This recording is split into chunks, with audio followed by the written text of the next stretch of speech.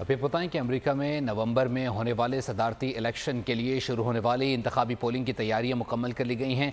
अमरीकी रियासत रियासत टेक्सास के मिनी पाकिस्तान करार दिए जाने वाले शहर ह्यूस्टन में आठ इस्लामी मराकज़ और मसाजिद को पोलिंग स्टेशन का दर्जा दे दिया गया है। अमरीका में मुसलमान वोटर्स की तादाद पच्चीस लाख, जबकि रियासत टेक्सास में मुसलमान वोटर्स की तादाद पाँच लाख से ज़्यादा है। हमारे नुमाइंदे कामरान जलानी ने अमरीकी मुसलमानों में इंतबी शूर बेदारी के हवाले से काम करने वाली तंजीम के सबक सरबरा से बातचीत की है। इसके अलावा कम्युनिटी रहनमा रफ़ी अज़ीज़ ने भी बोल न्यूज़ के लिए अपने तासरात रिकॉर्ड कराए हैं।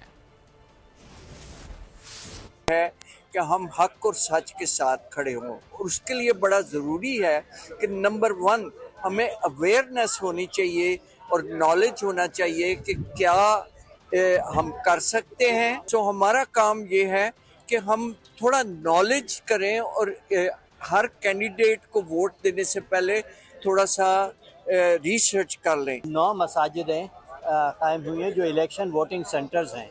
आठ हैरिस काउंटी में हैं और एक फोर्ट बेंड काउंटी में। और वो फैली हुई हैं एक जगह नहीं है। सो दैट कि जिस जगह भी आप हैं ह्यूस्टन ग्रेटर ह्यूस्टन इलाके में आप वहाँ जाके वोट कर सकते हैं।